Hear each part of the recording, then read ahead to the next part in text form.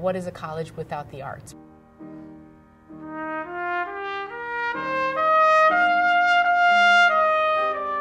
At that point, it became a little more serious for the school and for me. I was really inspired. We have instructors who perform with the Chicago Symphony Orchestra.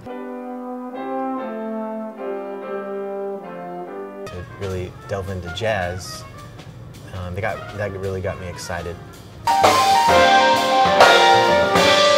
We have this, these great resources we can offer to the students in addition to really high quality music education. And I've been here now teaching, directing the big band for something like uh, around 10 years.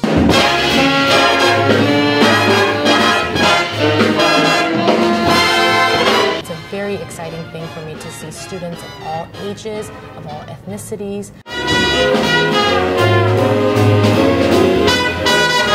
From all walks of life. Um, I have, um, you know, in my theory class, um, very, um, the most majority of my students right now in my music theory class are non traditional college students, people coming back after they've had a full career in some totally different field.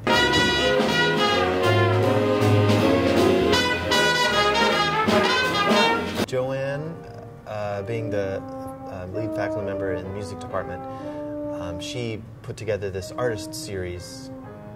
And so every month we're having different faculty members are being featured. And uh, a lot of times now we've been splitting the concerts, and having two different faculty members involved, and each bringing bringing their own background, bringing their own style of music. Students learn how to edit sound, to uh, compose music, to create beats. and having them interpret my music, it's, it's very humbling and it's just a blast.